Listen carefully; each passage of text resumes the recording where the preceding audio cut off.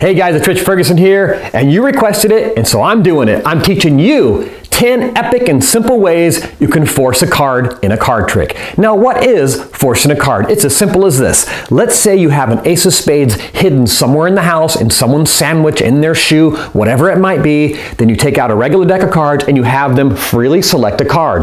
Well, that selection is not a free choice. You secretly force that one particular card on them, and then you reveal the impossible. So sit back and enjoy as I teach you 10 easy ways you can look like a badass magician, and be sure to hit that like button.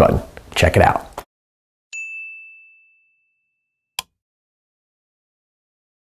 For this first force, hold the deck from the sides with your middle finger and thumb like this. Put the card you want to force on the bottom of the deck, and what you're going to do is reach underneath the deck with your other hand, with your middle finger and thumb, and pull off sections of cards from the top of the deck like this. And you just pull and pull and pull until they say stop, and then you show them the card that they selected, which of course is still the bottom card. Let me show you one more time what's happening up close in the mechanics. The card's on the bottom, you pull from the top into the awaiting other hand, they say stop, and there's the card. But just keep in mind that when you pull, don't pull far away like this. Make sure that the cards come back so it looks like you're just pulling random cards in chunks off of the deck, but what you're really doing is keeping the bottom card intact.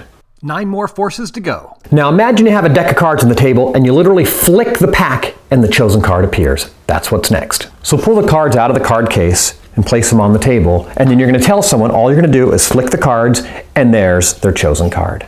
The explanation is going to blow your mind. It uses salt. Take a deck of cards, put a little bit of salt, like four or five little granules of salt onto a deck and put the force card right here on the bottom of this top pack, right on top, sandwich it up, and the rest is almost automatic. Let me zoom in and show you now that you know the secret. So I've placed some salt on the deck. Here's the forced card right here.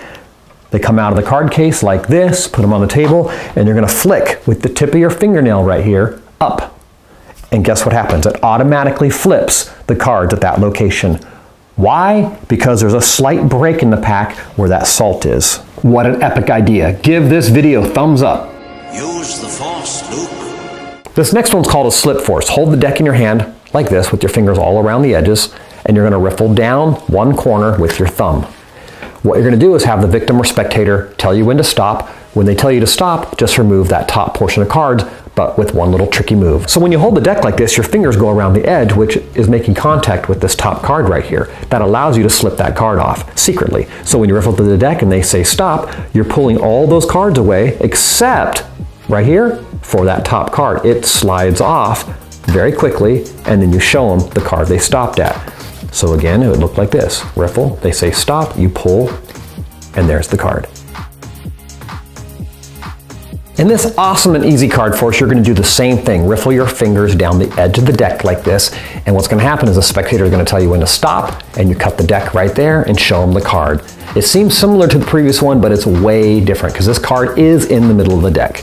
Let me show you up close the secret. Start off with the force card on top of the deck. Then give the cards a cut. There's the force card right here. Put it in the middle, except what you're gonna do is not close that cut all the way. It looks squared up from the front, but from the back, you have your big old pinky in there. It's called a pinky break. So from the front, it looks like this, and you can run your finger down the edge until they say stop. When they say stop, you don't grab from here, you grab from the back and look as if you're grabbing from there, and then there's that ace of spades. Let me show you from the back what it looks like. From the front, you're gonna riffle down with your thumb until they say stop.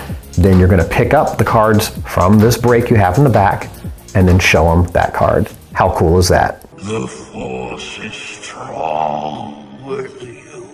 For this next one, set up your cards in the same way. Have your force card in the middle of the deck with the other half of the pack on top, but with that special pinky break right here in the back. From the front, they can't tell. And what you're gonna do is cut the cards until they tell you to stop. So up close again, here's the chosen card with the other pack on top. Squared up, but not really. You're going to pull off a small section of cards onto the table, and again, and again, until they say stop. They say stop, there's the chosen card. So one more time in full speed, here's the chosen card. This is what you'll say. I'm gonna cut the cards, just tell me when to stop. They say stop, well guess what? Continue that cut you started, there's the chosen card. If they were to continue, and say stop, here's that chosen card. So just keep track of where that chosen card is in the pack, and it's either going to be here or here. Start by pulling small sections off as you say, I'm going to cut the cards like this, just tell me when to stop. Well, during all that, they're not going to say anything because you're talking. Now continue knowing that that's the last piece and here's the chosen card. If they say stop, go great, here's your card. If you go another one and they say stop, there's the card. Well, if they go to the very end and you're all done, say, well, now we're out of cards, here's your chosen card. So without seeing this in action, it's gonna be hard for you to believe how simple and effective this is, so I'm gonna grab my cameraman. All right, here, hold out your hands for me. I'm gonna go through the cards like this, very slowly. What I want you to do is just tell me when to stop. Stop. You sure? Yeah. Okay, remember your card. See, once again, that secret ace of spades. I'm just gonna go through the cards like this, and you just tell me when to stop anytime you want. Stop. You sure? Okay, well, here's your chosen card. Let go. This next one's great because all you do is have them cut the cards. All you do is have the spectator cut the cards anywhere they want. You take the remaining cards, turn them sideways, and mark where the spectator cut. That's all you have to do. Then talk about the card trick or whatever you're about to do with them and say, let's take a look where you cut. And then you show them their chosen card. So the setup is so simple. Put the chosen card or force card on top, have them cut, take the remaining cards and put them on the deck the other direction. It's called a crisscross force. You've marked it, then you look up and make eye contact for just a moment so they forget which half is which and say, we're gonna try something impossible. Let's see where you cut. You pick up the pack that you placed onto their card and then you show them the card. It fools everybody. Once again, the chosen card's on top. They cut, you mark it, you take off the part you put there and show them the card that was on top originally, but it looks like it's a card they cut too. I've been doing magic professionally for 20 years and I have made up a lot of weird ways to do things with cards. Here's one of them. Have someone literally shuffle up the cards, take the cards back, you put them into the card case, you give them the card case and then talk to them a minute about the trick you're about to do. Say, we're gonna try something insane. You've shuffled up the cards, I haven't touched them. Take the cards out and just look at the top card real quick. Put it back in the deck so I can't peek. So they take the cards, they pull them out of the deck themselves, they just shuffle them, they look at the top card, and guess what? It's that force card once again. So the setup of this is very simple. Take this one from the deck, place it in here, put it on the table, have them shuffle up the cards any way they want. Take those cards from them. They're not going to remember this part, trust me. Put those into the pack, but do it in a way so that that card is facing in the direction it needs to be so it ends up being on top. Slide those in there, close them up, and make a big deal about, I don't want to touch them, you take the cards, give them back to them, and then continue with the dressing that you want to do for your trick. Just like the crisscross force, as long as you're looking up, they have the cards, and you're talking, they're going to forget who did what a moment later. It's that simple. Force is strong in this one. Luke, trust me. This next one's great if you already have a prediction inside of an envelope or maybe inside of the card case. Check this out. Have a person take the cards, shuffle them up, and then drop cards or deal onto the table and stop whenever they want, and it'll be their selected card. Let's say a spectator is dealing on the table and they choose to stop right there. You take the card case and say, I'm going to mark it. That's where you stopped. Let's try something. And then you talk about your trick.